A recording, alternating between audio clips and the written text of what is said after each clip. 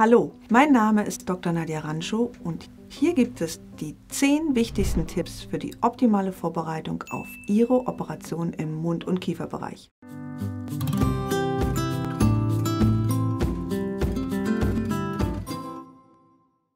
Ihnen steht eine Zahnentfernung, eine Implantation, ein Knochenaufbau, eine Wurzelspitzenresektion oder ähnliches bevor? Mit diesen 10 Tipps haben Sie jetzt eine einfache Checkliste für Ihren bevorstehenden Eingriff. Sie wird Ihnen dabei helfen, gut vorbereitet zu Ihrer OP zu gehen. Los geht's! Tipp Nummer 1. Bequeme Kleidung anziehen. Kommen Sie in ganz normaler, möglichst bequemer Kleidung zur Operation.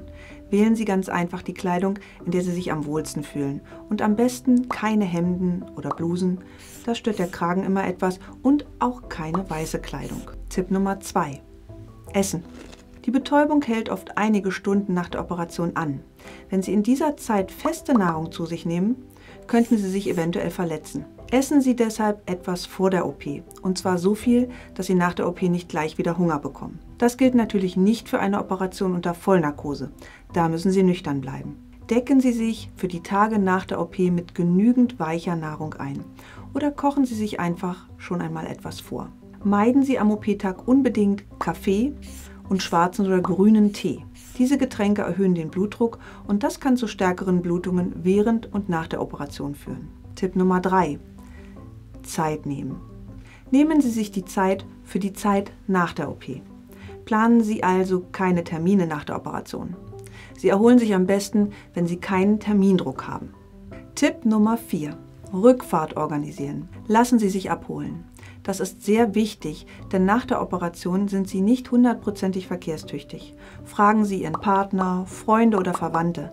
Bestimmt holt Sie gern jemand aus der Praxis ab und fährt Sie nach Hause. Oder nehmen Sie öffentliche Verkehrsmittel. Tipp Nummer 5. Musik mitbringen. Mit Musik geht alles besser, auch eine Operation. Nehmen Sie also Kopfhörer mit, damit Sie zum Beispiel über Ihr Handy Musik hören können. Zwar werden Sie während des Eingriffs dann immer noch Geräusche hören, aber lange nicht so stark. Die Musik wird Sie ablenken. Tipp Nummer 6. Kühlung vorbereiten. Besorgen Sie sich ein paar Kühlpäckchen für zu Hause. Kälte wirkt bei Schmerzen und Schwellungen wahre Wunder. Kalt-Warm-Kompressen gibt es günstig in der Drogerie oder Apotheke. Einfach ins Gefrierfach legen, dann haben Sie sie sofort zur Hand. Wenn Sie das vergessen, ist es aber nicht so schlimm. Sie können sich auch einige aus der Praxis mitnehmen. Tipp Nummer 7 eigene Medikamente beachten.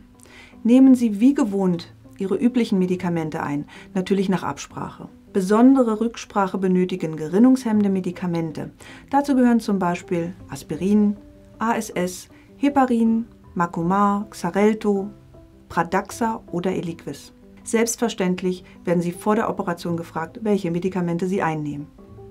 Tipp Nummer 8. Antibiotika. In manchen Fällen ist es erforderlich, schon vor der Operation Antibiotika einzunehmen. Wenn ja, halten Sie sich bitte an die zeitlichen Angaben Ihres Behandlers für die Einnahme. Tipp Nummer 9. Kalender mitbringen. Nach erfolgter Operation müssen meist irgendwann Nähte entfernt werden. Damit Sie den Nahtentfernungstermin schon am OP-Tag vereinbaren können, nehmen Sie bitte Ihren Terminkalender mit. Und hier kommt der letzte Tipp, Nummer 10. Frühzeitig absagen. Bitte informieren Sie die Praxis frühzeitig, wenn Sie sich zum Beispiel erkälten oder an Lippenherpes erkranken. Denn in solchen Fällen kann eine Operation oft nicht durchgeführt werden. Sie vereinbaren dann einfach einen neuen Termin. Und das war's auch schon. Wenn Ihnen mein Beitrag gefallen hat, freue ich mich über einen Daumen hoch. Teilen Sie das Video mit anderen, die vielleicht kurz vor ihrer OP stehen oder abonnieren Sie meinen Kanal für mehr Infos zu diesem Thema. Ich wünsche Ihnen alles Gute für Ihre OP. Ihre Dr. Nadja Ranchow.